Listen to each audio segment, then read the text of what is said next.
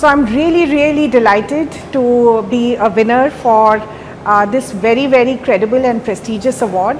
I know this is the first year for the KPMG ESG Awards, uh, but I also know that a lot of rigor in the assessment uh, has preceded the grant of the awards.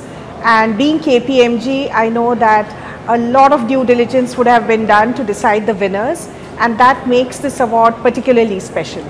I think India Inc. has come a long way in embracing the ESG agenda, uh, but uh, you know, groups like Mahindra and M&M particularly uh, have been trailblazers because we started the journey of ESG way before it became the buzzword that it has become. Uh, we started back in 2007, 2008 and therefore the big lesson for I would say India Inc. is to start now uh, to accelerate the pace and push themselves to do uh, much more, to go much faster because you know what, we are now at a stage where there is a real climate crisis.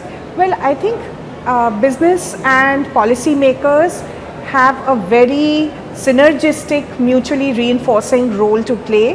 Uh, obviously, business and the private sector have to take the lead because it is through the investment that they put in and the initiatives that they take that uh, you know the dial can really move forward.